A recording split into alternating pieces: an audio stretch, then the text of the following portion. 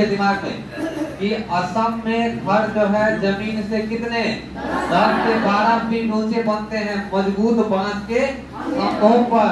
क्यों बनते हैं? क्योंकि वहाँ बारिश अधिक होती है और बारिश अधिक होने के कारण ही वहाँ पे घर क्या होते हैं, ये देखिएगा।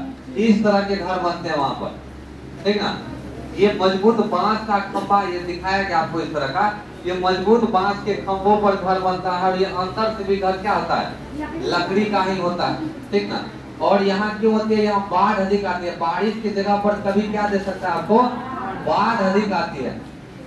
तो ध्यान रखिएगा, बाढ़ की बात भी ध्यान रखिएगा कि बाढ़ अधिक आने के कारण यहाँ पर घर जो है, ये किस चीज़ के बनते हैं? लकड़ी के बनते हैं और बाँस के खंभे भी बनते हैं। आगे हम लोग मूव करते हैं इसमें। आगे है यहाँ पर मनाली के बारे में। देखिएगा, क्या है मनाली के बारे में? कॉन्सेप्ट ये समझिएगा यह मनाली एक पहाड़ी इलाका है। किस तरह का इलाका है? तो वह पहाड़ी इलाका है। सबसे पहले तो ये जान लीजिए। यह एक पहाड़ी इलाका है। यहाँ बारिश भी बहुत अधिक होती है। है ना? यह बारिश भी बहुत अधिक होती है और बर्फ़ भी क्या होती है? ज़्यादा पड़ती है। जब ठंड ज़्यादा हो जाती है तो ठंड ज़्यादा होने क्या होता है? जब ठंड ज़्यादा हो जाती है, तब धूप में घोटना अच्छा लगता है। हमारे मकान यहाँ से हमारे मकान पत्थर या लकड़ी के बने होते हैं। तो पहाड़ी इलाके में मकान कैसा बनता है? पत्थर या लकड़ी का। ढालुनुमा बनता है, ये भी ध्यान दीजिएगा। यहाँ पे जो घर बनते हैं, वो कैसे बनते हैं? हालनुमा घर बनते हैं इस प्रकार के। है ना? इस प्रकार के, हिमाचल प्रदेश में। ठीक ना इस प्रकार के घर बनते हैं। यहाँ देखिएगा ऊपर में दिखाया भी क्या आपको यहाँ पर अब इसका ढालनुमा क्यों बनते हैं? क्योंकि इस पे जो बर्फ़ गिरेगा। ना वो क्या होगा? वो सड़क के नीचे गिर जाएगा। इसमें जो बर्फ़ गिरेगा वो क्या होगा? यहाँ पे जो बर्फ़ मान लीजिए गिरा तो वह सड़क के दोनों तरफ़ क्या होगा? नीचे गिर जाएगा। यहाँ पे दिखाया कि आप बेहतर देख सकते हैं। इस तरह का ढालनुमा बनाया जाता है। यहाँ बारिश भी होती है और बर्फ़ भी गिरता है। मतलब जब मौसम बारिश की होती है तो बारिश होता है और जब मौसम बर्फ़ का होता है तो बर्फ़ भी गिरता है। ठीक ना? समझ गए?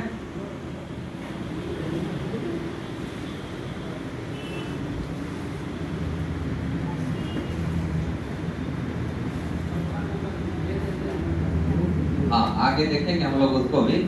कि लद्दाख में भी पत्थर के घर बनते हैं कश्मीर में भी बनते हैं। क्लास पाँच के किताब में आपको ज़्यादा कंटेंट आवाज़ के बारे में पढ़ने की है फ़िलहाल इसमें जितना है, उतना हम लोग देख लेते हैं, क्योंकि इसके लिए हमको अलग से बुक लेने का तो कोई ज़रूरत है नहीं। दुई की कोई चैप्टर है और उन चैप्टर को हम लोग देख लेते हैं। हाँ तो खत्म हो गया तो अब है काम ये थ्री का इसमें भी बाईस चैप्टर है।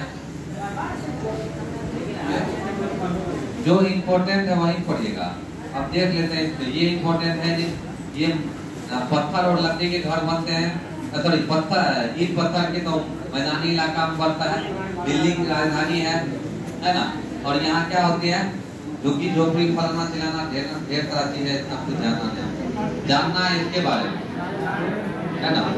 जानना है इसके बारे में। देखिएगा। राजस्थान के बारे में क्या जानना हमको कि राजस्थान के गाँव का यह रहने वाला है, हमारे यहाँ बारिश बहुत कम होती है और गर्मी खूब ज़्यादा होती है। मतलब जहाँ पर बारिश कम होती है, गर्मी ज़्यादा होती है, वहाँ पे घर किस चीज़ के बनते हैं? मिट्टी के घर बनते हैं। घरों की दीवार, ध्यान दीजिएगा, बड़ा इम्पोर्टेंट है। घरों की दीवार बहुत मोटी होती है।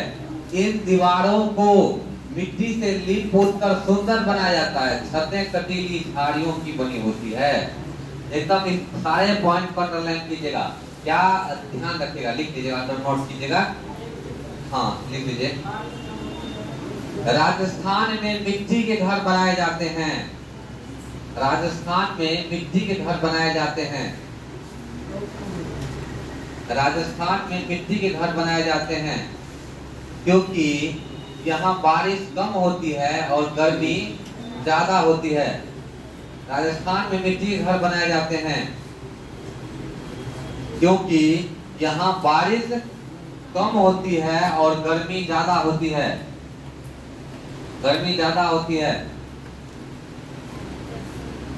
घरों की दीवार, घरों की दीवार मोटी बनाई जाती है।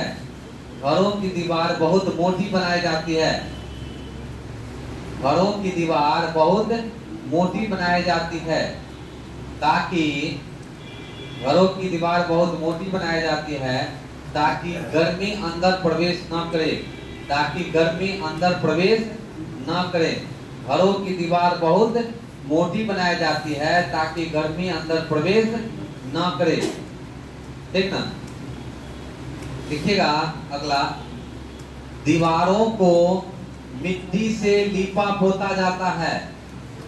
दीवारों को मिट्टी से लीपा पोता जाता है। दीवारों को मिट्टी से लीपा पोता जाता है। दीवारों को मिट्टी से लीपा पोता जाता है। ठीक ना दीवारों को मिट्टी से लिपा पोता जाता है। मिट्टी से हम लोग लिपते पोते हैं। ठीक है? अगला ताकि ताकि घर सुंदर दिख सके। ताकि घर सुंदर दिख सके। मिट्टी से लिपा पोता जाता है। ताकि घर जो है, वो कैसा दिख पाए? सुंदर दिख सके। अगला लिखेगा, अगला प्रकृति में। मिट्टी के घरों के आँगन को, मिट्टी के घरों के आँगन और दरवाजों को, मिट्टी के घरों के आँगन और दरवाजों को, मिट्टी के घरों के आँगन और दरवाजे को, मिट्टी के घरों के आँगन और दरवाजे को, मिट्टी के घरों के आँगन और दरवाजे को गोबर से लिपा पोता जाता है। मिट्टी के घरों के आँगन और दरवाजे को आँगन और दरवाजे को गोबर से लिपा पोता जाता है। गोबर से लिपा पोता जाता है। गोबर से लिपा पोता जाता है। लिपा पोता जाता है। क्यों लिपा पोता जाता है? ताकि कीड़े मकोड़े ना लगे। ताकि कीड़े मकोड़े ना लगे। ताकि कीड़े मकोड़े ना लगे।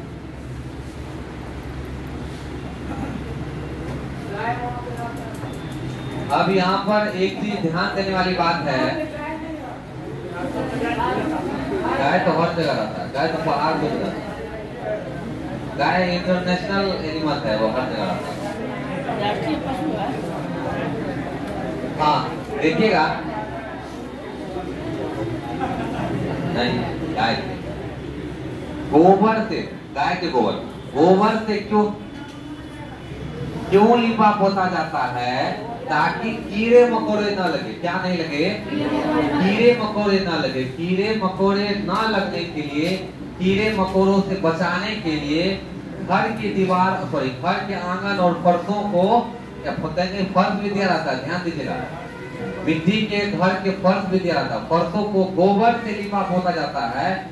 इसीलिए क्योंकि उसमें कीड़े मकोड़े और चूहा भी कई बार देता है। चूहा ना लगे, इसीलिए। समझ गए?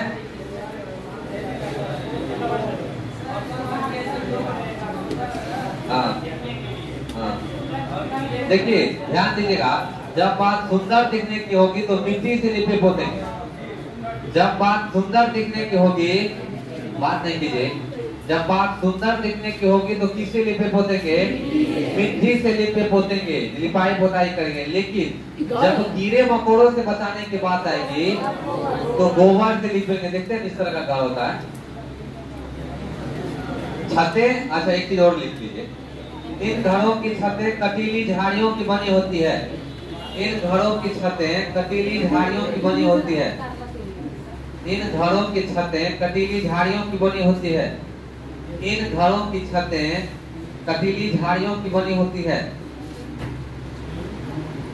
इन घरों की छतें कटीली झाड़ियों की बनी होती है।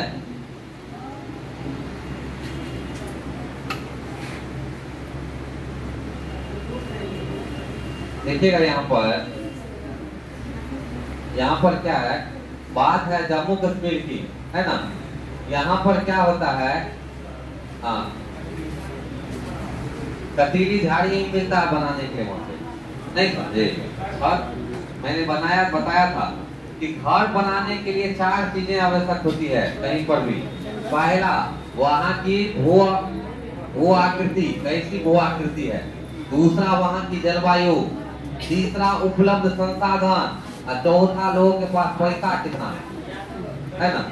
ये चार गो चीज़ होता है, कहीं भी घर बनने तो हाँ हाँ मतलब देखिए, पहला हुआ वहाँ की भू आकृति। मतलब भौगोलिक स्थिति कैसी है? क्या पहाड़ है? क्या मैदान है? क्या रेगिस्तान है? किस तरह का है? दूसरा, वहाँ की जलवायु। क्या गर्मी ज़्यादा होती है? क्या ठंड ज़्यादा होती है? क्या वर्षा ज़्यादा होती है? वो हुआ जलवायु। दूसरा, संसाधन। तीसरा सॉरी संसाधन। मतलब कौन कौन चीज़ वहाँ उपलब्ध है? जो आसानी से मिलेगा, उसी से बनाइएगा। और सबसे लास्ट चीज़, लेकिन सबसे इम्पोर्टेंट पैसा। पैसा यदि आपके पास है तो आप अंडमान, निकोबार द्वीप समूह में भी घर बना सकते हैं कहीं पे भी बना सकते हैं यदि आपके पास पैसा सबसे इम्पोर्टेंट चीज़ है तो आर्थिक स्थिति, अब देखिए, मैदानी इलाके में गाँव होता है और गाँव में मिट्टी के मकान बनते हैं। क्यों बनते हैं? क्योंकि वहाँ के लोगों के पास संसाधन भी है, ईट भी है। ईट भी है वहाँ पे, स्थिति भी वैसी है, जलवायु भी